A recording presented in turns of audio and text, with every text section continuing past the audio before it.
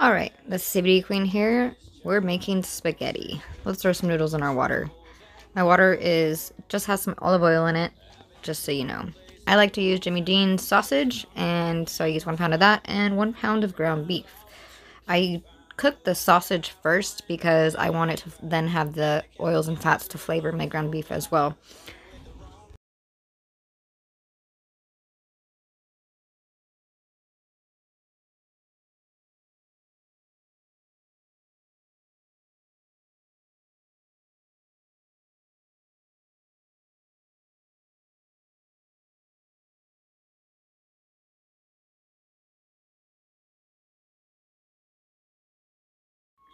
Just checking on my noodles to make sure they're all in the water.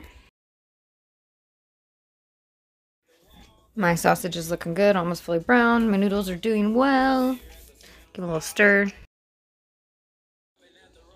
So everything's going good. I'm gonna go take a smoke break because who does not like to smoke a bowl while they cook? I know I do, especially in between my tasks.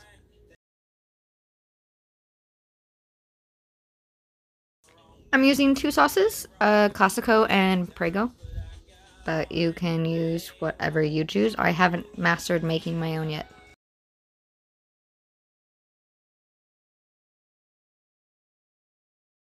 Boom, Pischetti. Spaghetti. Yummy. Mmm, delicious.